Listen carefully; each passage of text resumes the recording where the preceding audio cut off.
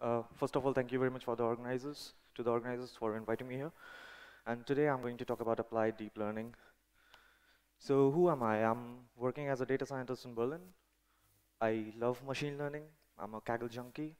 And uh, my research interests are automatic machine learning, and I like handling text data a lot. And of course, I like big data. So uh, before we start with applied deep learning, we all want to know what is deep learning, right? So deep learning for me, and I think for most of you, is now a, a buzzword. So if you want a job as a data scientist, you must put deep learning in your resume. You're going to get selected for an interview. To me, deep learning is neural networks, all kinds of neural networks, not shallow, but yeah, larger neural networks. And deep learning helps us to remove manual feature extraction steps. So when you're dealing with images, just imagine 10 years back, when you were dealing with images, you were using features like SIFT features or SURF features, so you don't need them anymore because deep learning takes care of that. And many people might think it's a black box. Oh, we are not going to use neural networks, it's a black box. It's not. We'll see. So, uh, history is always good, right? We must learn how deep learning uh, machines ha have evolved, how convnets have evolved. So in 1989, we used to have something like this with the convolutional uh, layers and subsampling, then again convolution, something like this. And then we had something uh, in 2012, we had max pooling, which improved ImageNet accuracy a lot. Uh, but we are humans. We always want something more. So we need to go deeper in neural networks. And then Google came up with this GoogleNet, which doesn't even fit on my screen, with a lot of inception layers, a lot of convolutional softmax pooling layers. And uh, since 2012 to 2016, there have been hundreds of papers discussing neural network techniques. So we'll, we'll go one by one, OK? And then you'll be like this, a bored cat if I start talking about all the deep learning techniques for last four years. So let's start with something interesting. What can deep learning do? We all know, like images, of course, it can classify images like in different categories, butterfly, dog, volleyball. People love classification between dogs and cats. And something RCNNs can classify different parts of an image and it's very fast. And also, like, is it a muffin or is it a dog? It's difficult for humans, right? Don't eat the dog. Or maybe something like this, maybe a pug or bread, loaf of bread. So deep learning can also be used in natural language processing with text data, sentiment analysis. There's been a lot of research in that field and also for speech processing. So if you're using Siri and coming up with stupid jokes, so it's machine learning and deep learning. It's everywhere. Deep learning these days, it's everywhere. So the question is, how, how can I implement my own deep nets? So at the end of the talk, I, I think most of, if, if you haven't implemented your own deep nets yet, then you will be able to do so yeah, so you can implement them on your own. So to implement them on your own, you have, if you know what kind of deep network you're, you're planning to implement, you have to decompose it into smaller parts. And then you implement the layers one by one, use Theano or something, and then you start the training. But there is something more. It's called fine-tuning. So you can save yourself some time, and you can fine-tune a pre-trained network. So for fine tuning, for mo mo most of the times, maybe you need to convert the data. So that's one of the steps. The next step is you need a network definition. So how does your network look like? Do you want to fine tune AlexNet, GoogleNet, VGG? And you need to define a solver that's also net. So I'm, I'm telling you all this because I'm, I'm going to talk about Caffe, developed by Berkeley Vision, and Keras, which is a Python library So first I'll start with Caffe. How many of you have used Caffe? How many of you know about Caffe? Oh, great. So Caffe has, uh, why, why should we use Caffe? It, it's very fast. It's open source. It's modular. And if you don't know coding, it's expression based. So even if you don't know coding, you can implement your networks in Caffe very, very easily. And it's developed by a community, which is the best part. So you always have something new implemented in Caffe. So for Caffe, you need to convert your data. So Caffe uses LMDB. It's kind of database for images. Uh, if you have a lot of images, if you want to train faster, then you need to convert your data first. You need to define a network, which is a proto-text file. I'll come, I'll come to that. And a solver, as I said earlier, which is also a proto-text. And then you train the network with or without the weight, pre-trained weights. So proto-text, it's, it's actually very, very simple. So this is one of the solvers here, and you define where you store the net, which is network.prototext or train.prototext. So here, train val.prototext, it accesses that. And then you have the number of test iterations, after how many intervals you want to uh, test your network on the validation set. Uh, that's the test interval, and then display is one. So after every epoch, you, you get the results you can define average loss, learning rate, what kind of learning rate policy you're using, uh, then other parameters like gamma and momentum, and uh, snapshot prefixes where you want to store your model. So after every 100 iterations or 1,000 iterations, you want to store it somewhere.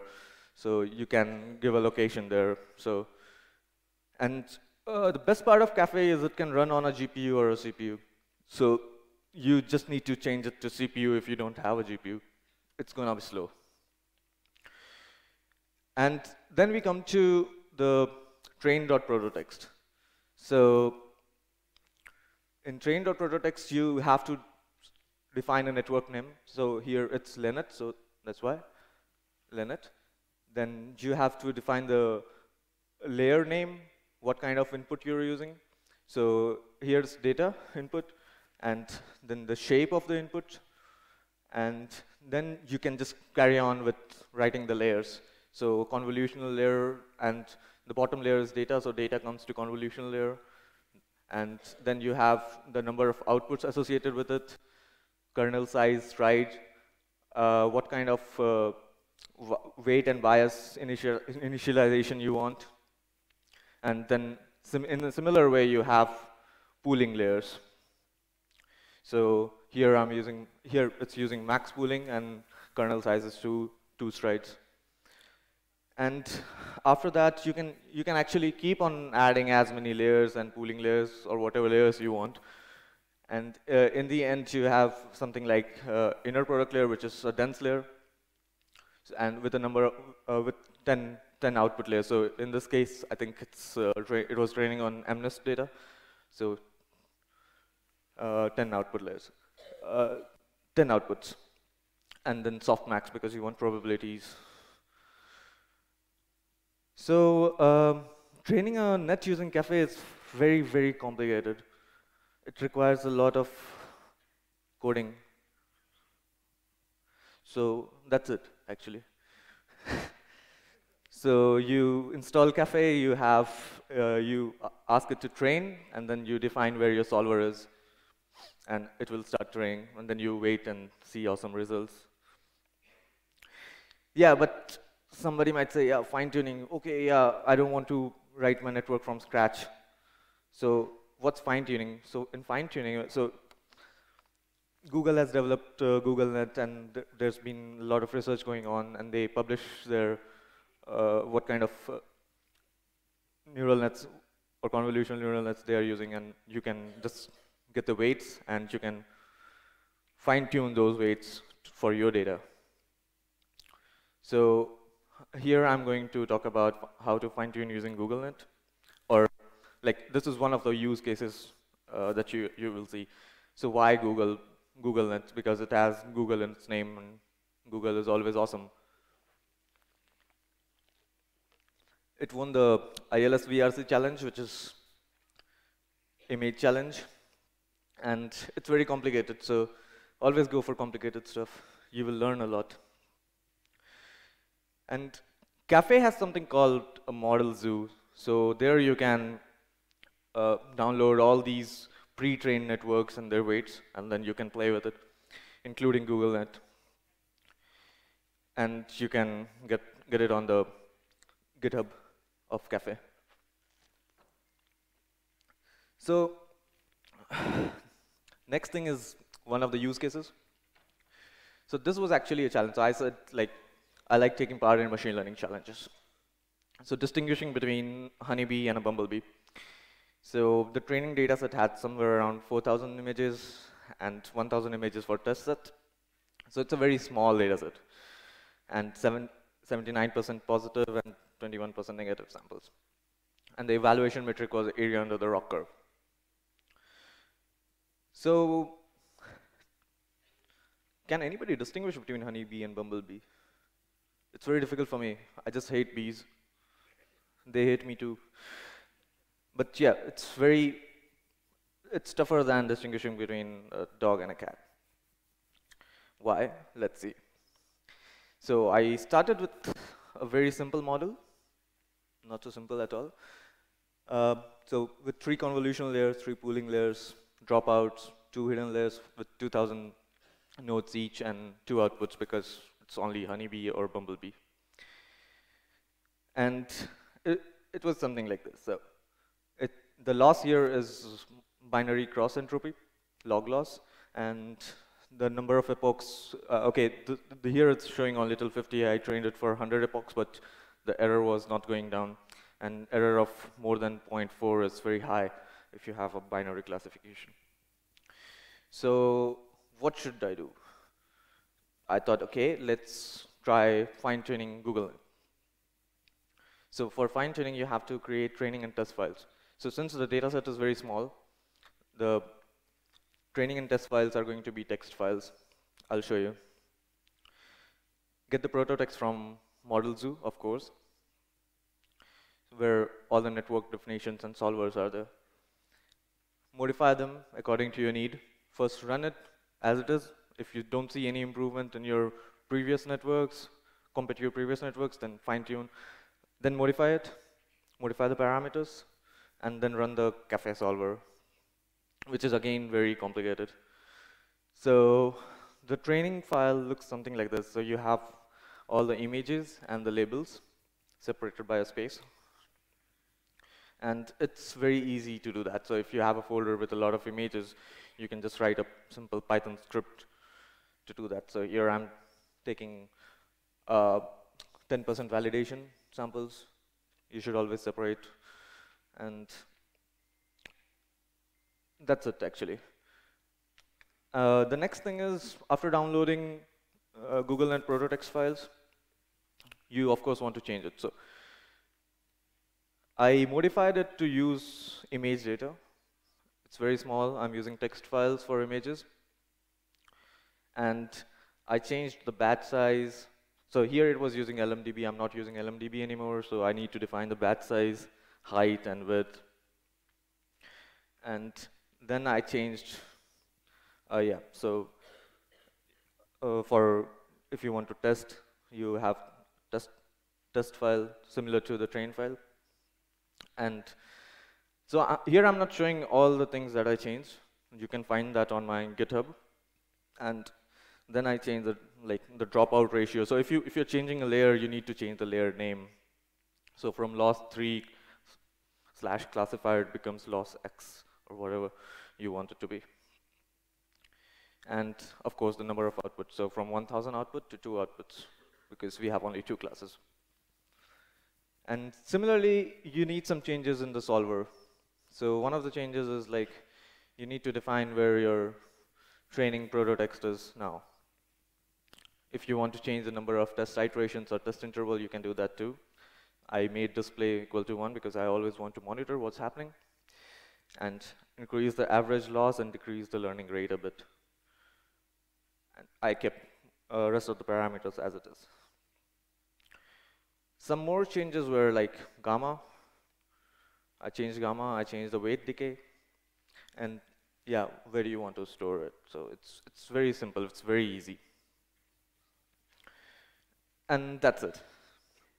So now you have modified the prototypes and now you, have, you want to see how it performs on your dataset.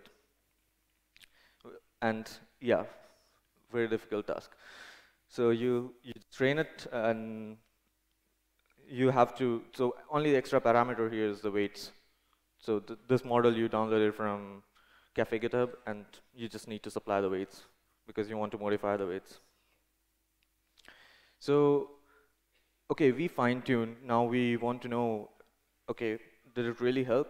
Okay, and some somebody might say Google Net, yeah, it has all the classes you want. It doesn't have these. So um, this is these are the TSNE projections of the data initialized with random weights. So we can see like we cannot separate out green and blue, honeybee or bumblebee. And uh, when I used GoogleNet as it is, I got something like this. So you can see like here is a small cluster forming. There are some clusters here, but still it's not separable. And this is the fine-tuned result. So you can see like what kind of accuracy you will get here. I got an AUC of 0.997. And um, to see how GoogleNet performs, so you have nine inception la layers and you can extract output from each one of them. You can do it using Caffe and Python. It's very easy or, and the code is available. And you see something like this. So with the red, red line is random, blue is pre-trained and then fine-tuned.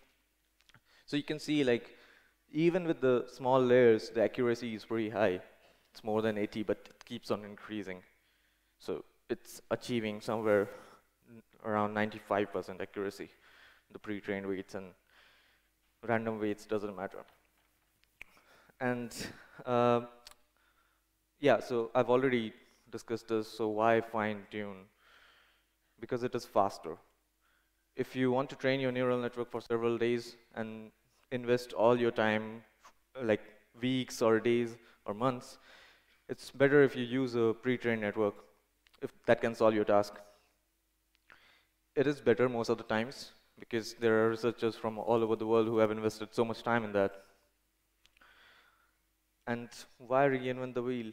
If somebody is offering you something, just take it and use it.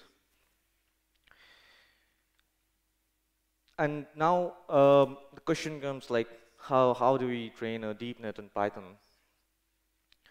So for Python also, it's very simple. For Python, I'm using Keras, so I'll talk about Keras.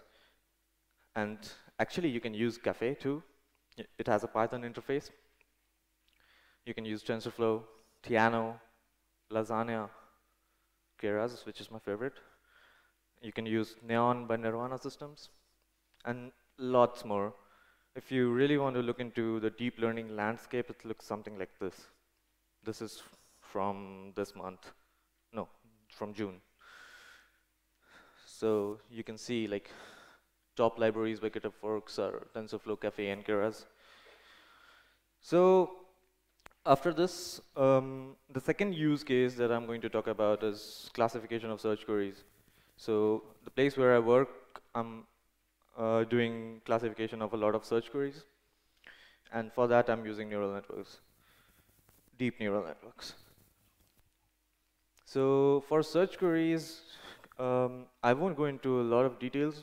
Queries can be classified into three different categories, navigational. So if you want, if you know where you want to go, like if you search for Walmart, then of course you want to go to the Walmart website or Amazon, then you want to go to Amazon website. And then you have transactional queries. So if you want to buy something, like let's say if you want to buy iPhone 6s, so it becomes a transactional query, or if you want to book a hotel in Bangalore. And then you have informational queries. So who is the president of the United States? Or something like this, or if you just search for Bangalore or Kolkata. And the transactional queries can be further divided into four different classes. Awareness, evaluation, decision, and retention. So in awareness phase, customer is making himself aware of uh, the product.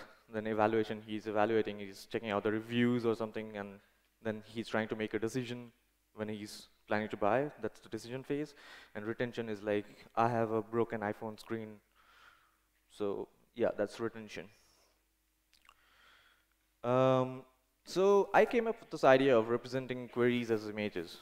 So all the search queries can be represented as images. So this is the image of David Weir, the query. Uh, how is this image formed if you know about virtual vector embeddings? So when you search for David Weir on Google, you can extract all the title words and then create these virtue vectors for each one of them. You can stack them together and it will give you an abstract image. Similarly for apple juice or search query Irish, you have these images. But what happens now? I don't see much difference between Guild Wars, a search query, which is a game, or apple juice. So it becomes something like this. You can be anything. So that image can be anything, but we can tackle it. So there are two different kinds of machine learning models that you can use. One is convolutional neural networks. You can, like, you can use the images directly or use the random crops from images. So you take the whole image and put it into a convolutional neural net and then see how it performs. Or you can do something really cool like this. You can extract random crops. I won't tell you how you, how you can combine it because I'm also still researching on it. But one very simple way would be averaging, and then you can train a convolutional neural network on it. And uh, implementing neural networks with Keras, it's, it's very simple. So here I'm implementing a multi-layer perceptron. So it's a sequential network. You define the model as sequential model. Then you keep on adding layers if you want dense layer and then add dropouts, then the number of classes you have. And uh, then it uses categorical cross entropy. So here you have a number of classes, categorical cross entropy is multi-class log loss, and an optimizer. And then you just fit the model. So X is your data, YC is your labels, number of epochs, and that's it. It's so simple. And similarly, you can um, design a convolutional neural net so you just add convolution layers instead of dense layers, and then proceed the same way. You just keep on adding layers, as many layers as you want. And in the end, yeah, you have to flatten, and then if you want softmax or sigmoid, depend on, depending on your task.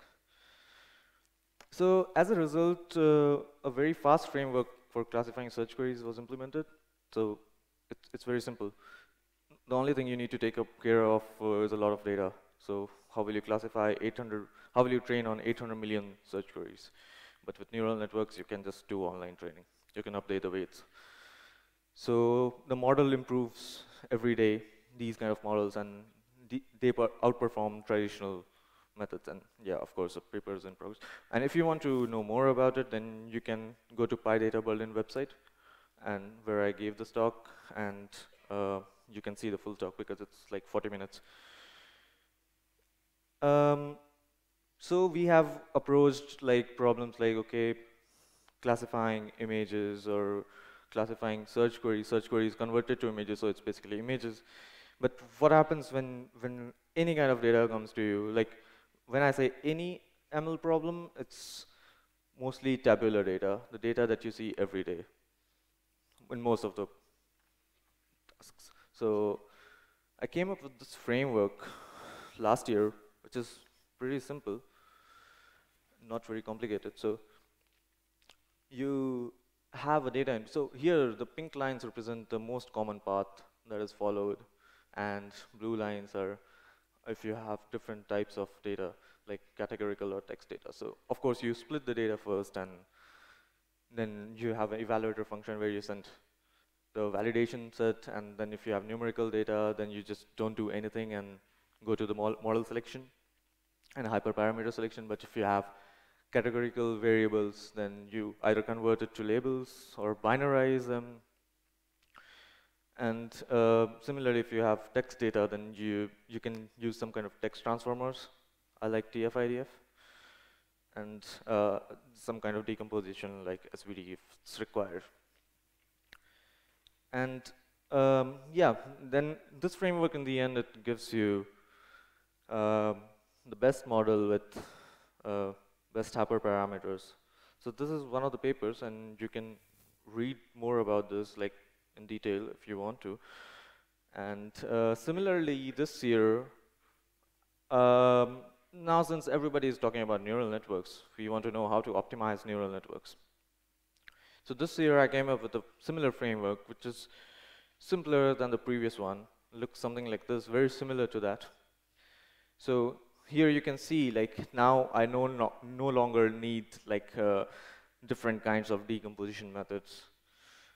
So if I have if I have a data set, I split it into validation and training, and then I identify the type of features and stack the features. One of the very important steps is training neural networks is normalization of the features.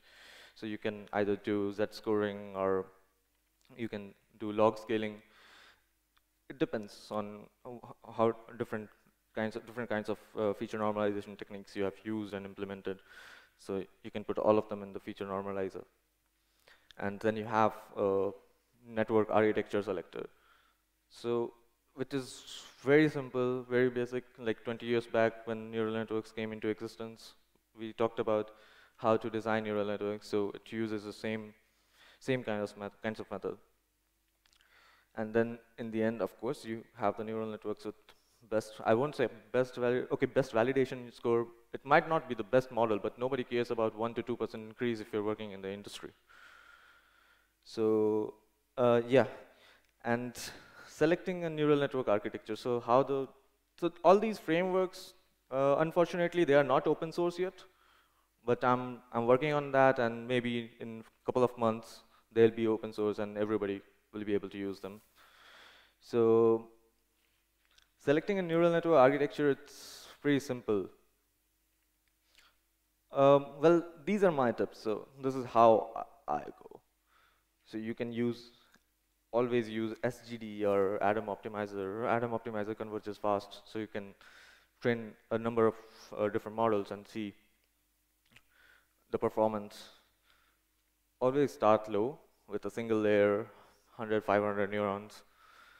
Use batch normalization, which is very effective, and uh, ReLU, rectify linear units. Then, of course, a dropout because you don't want your network to overfit. And then you observe the validation score.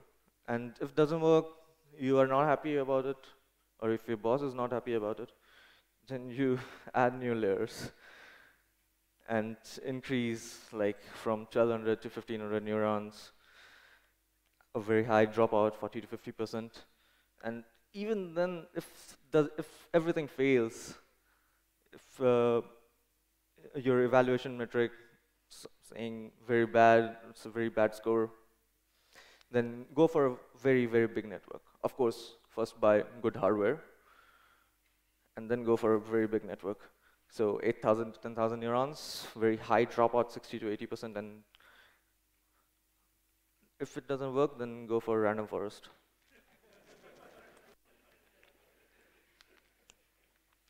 So since I'm talking about uh, automatic machine learning, how, how kind of frameworks select the best models, uh, I'll also talk about a little bit about the AutoML challenge.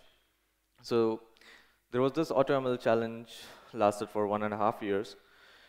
So with a tweakathon phase, final phase, AutoML phase, where your models are run on new data sets. And a number of phases. So the framework that I showed you, how to select neural network architecture or how to, how to approach any kind of machine learning problem, I used these frameworks for this challenge, and it performed really well.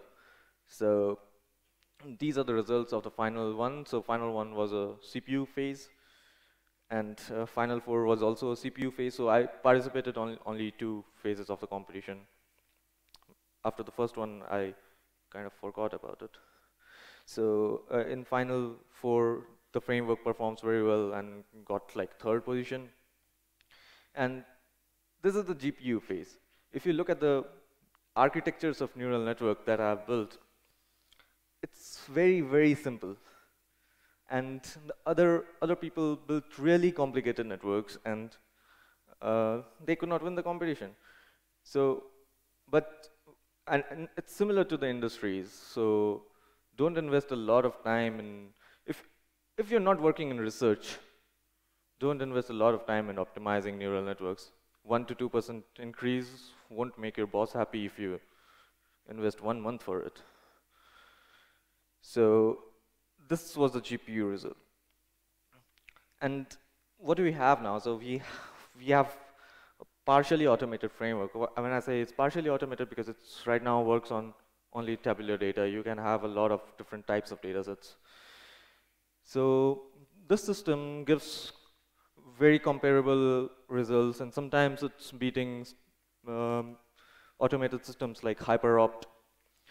Um, and yeah, how how this framework for neural networks or for uh, the other framework, how, how they were de designed was like, when you deal with hundreds of data sets, you know what kind of machine learning models will work, what kind of neural network can you design. So knowledge from some kind of knowledge from past data. And of course, we have a future in this because right now I'm working on auto-tuning of convolutional neural nets, which I think should be big. And um, this was also like uh, discussed in very much detail in PyData Paris. If uh, like 20, 20, 30 minutes of talk, so you can read, you can see that, and you can then you can separate out different parts of the framework and see how the whole framework is designed.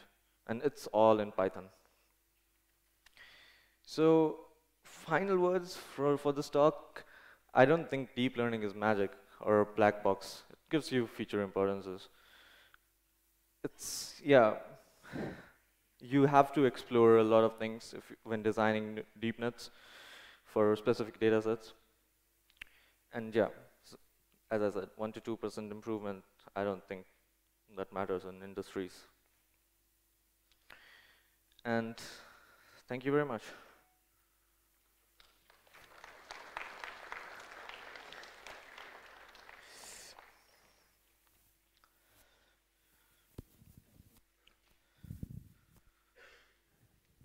Mr.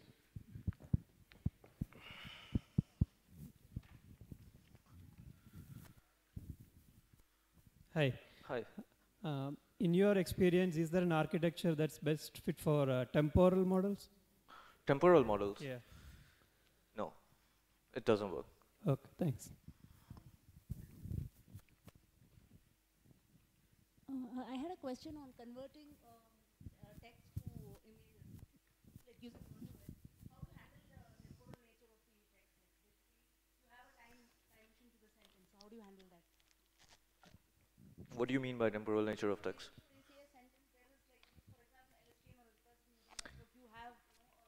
Okay, okay, sequence to sequence learning, right? So, no, I'm not using sequence to sequence learning. So you you can convert you can convert. So like here, let me get back to that. So here you can. So how I'm combining these? So uh, you have a search query and then you have the top results for that search query. And all the, all the results have a title. So these titles are converted to Word2Vec representations and stacked together. That's it. And if, if, you if you just want to train on the search queries, then you can use Word2Vec embeddings for each of the word in the, test, uh, in the query, and then you can train a LSTM. So I was wondering if uh, if there is some way of uh, like grid search based uh, pipeline method which we have in scikit-learn.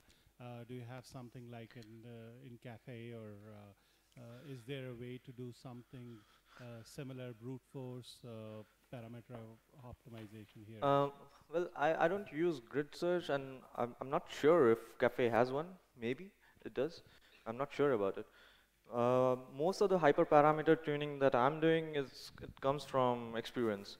So um, you know which parameters to tune and which parameters to leave. And grid search is very slow. I would prefer using something like uh, Bayesian optimization. Uh, Can you please suggest us for some ways for evaluating uh, trained models? Like one is TSNE, you already, already told. Something. Uh, can you please uh, suggest us with some ways for uh, evaluating the trained models?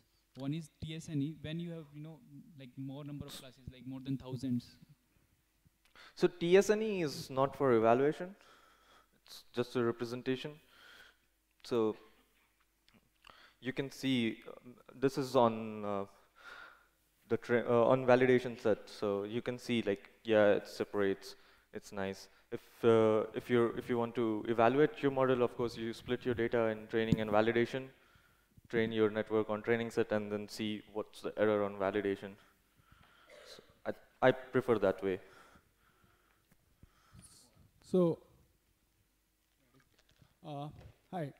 so I wanted to uh, see the, the types of problems that you've attacked are fairly well cropped image problems or the um, text-based problem which do, not include sequencing or the temporal uh, sort of nature of the data. Uh, I was wondering if there were any uh, pre-processing steps that you would suggest so that, uh, and you, you got very good results. What I'm trying to see is, uh, are there any pre-processing uh, steps that you would suggest so that you can convert the, the type of data, more complex images, different kinds of uh, text data into a, a, a, a type of data where um, you can get good results using the uh, techniques that you are So, like pre-processing steps for images or text? both. Both, okay. Yeah, you can, uh, it depends what your subject is. When we are talking about images and you're classifying different objects. So, if you're classifying a bottle, and if it's in front of laptop and, okay, a lot of other things, then you need to like uh, center it, or sometimes you, you can do some kind of rotations. Uh, but most of the time, mm, I'm not doing these steps. You really can't apply it in batch, right?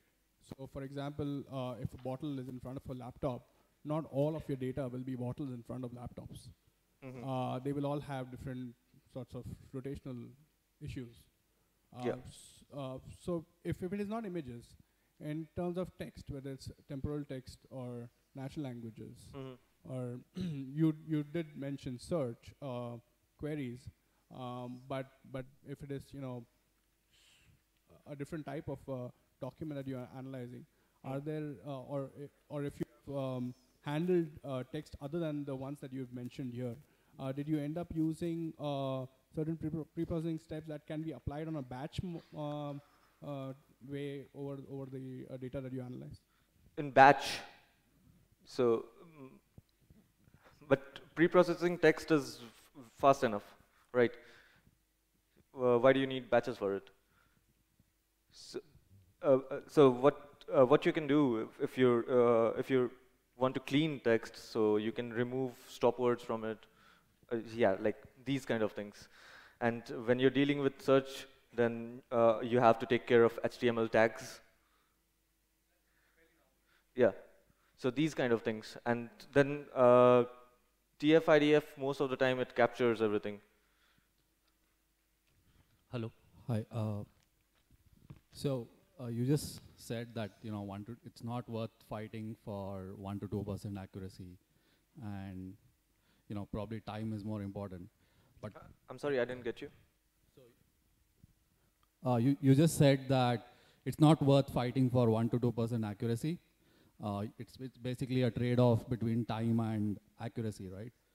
Uh, you know, in some industries it does matter, like a lending industry, uh, or like when you're trading like a huge portfolio of money, uh, one to two percent saves you like millions, which matter. So, what is your, you know, what is your strategy there? Because the only way now is you get into a research mode, um, or you know you get into a mode where you have to come up with your own algorithms, or maybe like a fine-tuning algorithm which is not applied. So, what is your you know what is your stra- strategy there? Yeah, so first I'll, I'll, um, I'll ask what kind of industry. So if, okay, if it's, uh, if we have to deal with a lot of data every second, it's like millions of uh, rows, millions of samples every second, then I won't even use deep neural networks. They are too slow. And I'll go for something like logistic regression, which is simple and easy. So, and if, if you don't need any kind of online, va- online evaluation, so, or you don't want to test your model online, if it can run offline and uh, if it takes several days or several hours, if it's okay, then, and if 1 to 2% accuracy is equal to a million dollars, then yeah, of course do it.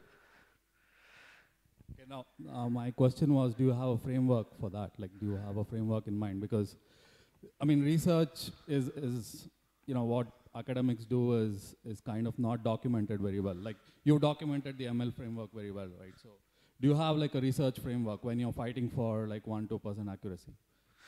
So the framework, the framework that I described, right? It um, it gives you a direction. So it gives you very basic, simple models that you can use. And uh, the thing is, the space, the parameter search space is very limited, and it comes from knowledge of uh, different other data sets. So uh, if it has seen some similar data sets previously and it has used parameters in a certain range, then it will use them. And it will give you a model and then you can, then you can do it manually. So it won't, it won't give you the best model in the world, but it will give you just a direction. It will give you a good model, that's it. And it, uh, it yeah, then 1 to 2% accuracy, uh, it's not dealt with by the framework. We have two more questions on the. Uh, Uh, hi, uh, thanks for the lovely talk. Big fan. Thank you. Uh, anyways, uh, like you said, uh, with a network, if there is a batch normalization, uh, is it necessary to have dropouts as well? Batch normalization is a normalization technique, and dropouts, you use it for regularization. So, uh, yes, you should. Okay. Uh, actually, I was referring to the original paper. They say that dropouts is a regularization technique which can also be uh, implemented in uh, implicit way by batch normalization. That's why I asked. Thanks. Is it? Okay. Might be. I don't know about it. Yeah. Thanks. okay, last question. Hi. Uh, uh, it might be kind of a stupid question, but uh, going back to your fine-tuning example, say I have a binary classification for images, uh, exactly what you did. So what you're suggesting is go with the AlexNet or something which is very uh, well trained and just replace the last softmax layer and just train your network on that. Is that the technique that you followed roughly? Is that? Is that the technique you followed roughly? That just uh, remove the last layer and put in uh, a layer with uh, random weights and just train it again? Is that what your Bumblebee and those two type of bees training No, was? I changed a lot of things in that. So, no, but uh, ch- ideally, you that could just be a starting point, right? Just Yeah, change, yeah. change. So, uh, yeah, if you just want, if, if you don't want to fine tune, if you just want to see how this network performs, then yeah, just remove the last layer and modify it from 1000 classes to two or three or whatever number of classes you have. And you might need to change uh, to softmax or sigmoid depending on your problem. Okay. And how slow is the, is this as compared to your origi- original model that you had? Because original models there, Uh, there wasn't a can lot we, of. Can we take this question offline? Uh, Abhishek will be available for Sure, the Birds of Feather session at 3:15. So if you have more questions, you can you can talk to him then. Uh, thanks, Abhishek. Thank you very much.